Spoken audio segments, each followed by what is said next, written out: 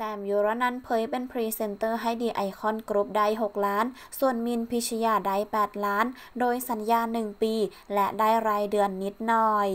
สำหรับคดีดีไอคอนกรุ๊ปที่ตอนนี้รวบแล้วบอส 18 คน เข้าฝากขังไปก่อน ระหว่างที่ศาลยังไม่ตัดสินคดี ก็ยังถือว่าเป็นผู้บริสุทธิ์ โดยเฉพาะบอสดารา ที่หลายคนนั้นจับตามอง ทั้งกันต์ กันตถาวร มีนพิชยา และแซมยูรนัน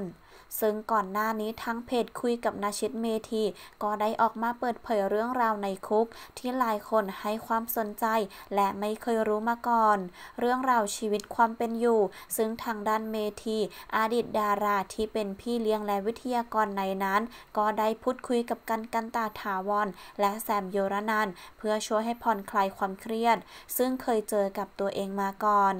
และมีช่วงหนึ่งในไลฟ์ที่นิ้งแฟนสาวของเมทีได้พูดถึงค่าตัวพรีเซนเตอร์ของมินพีชญาว่าได้ 8 ล้าน และแซมยุรนันท์ได้ค่าตัว 6 ล้านบาท และได้รายเดือนอีกนิดหน่อย